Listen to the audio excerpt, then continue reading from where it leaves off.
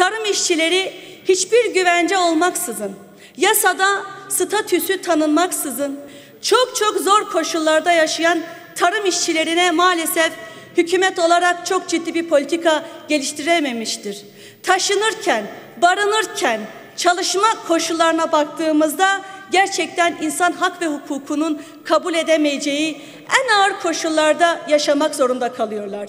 Bu yetmiyormuş gibi gittikleri yerlerde kimliklerinden dolayı nefret cinayetlerine kurban gidiyorlar.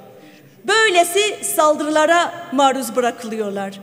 Bir Kürt işçi Sırt kimliğinden dolayı cinayete kurban gitti ve şu anda devam eden dosyada herhangi bir adım dahi atılamamış durumdadır. Tek suçu sadece bölgesinde yaşayan yaşanan işsizlik ve ekonomik kriz nedeniyle başka bir bölgeye, başka bir ile çalışmaya gitmek zorunda kalan bu insanların yaşadığı bu mağduriyetlere bir çözüm getirmek durumundayız.